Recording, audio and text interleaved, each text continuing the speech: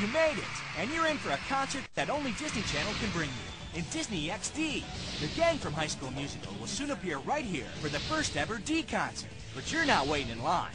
The cast is taking you backstage as they get ready, and they're talking about what it's like to be on the road performing for you. Being on tour is so crazy. Like everything that we have to do, it's just it's nonstop. And it is non-stop backstage. From the wardrobe to the makeup to the sound check right when they arrive. Corbin Bleu!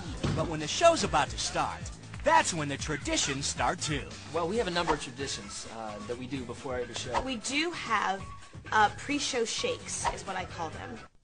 They're like secret handshakes, but we have to do them before every single show. We like to circle it up. We all kind of um, just somebody usually says something about you know uh, you know we're gonna have a great show. Usually Chucky, our choreographer, likes to talk, and Yeah, he really is the motivator. he gives us all of his energy, and we all hold hands. Keep it fresh, keep it new, look at each other, it's the best thing to do. Have fun! It gives us so much energy. And then we pass energy along by like squeezing each other's hand in a circle. And then Corbin says his And when the Wildcats are ready, one guy has a different job. I'm the MC, the host, the you know ringleader of the show. So I I feel fortunate to have the privilege of, of doing that, you know, and to having that responsibility on stage.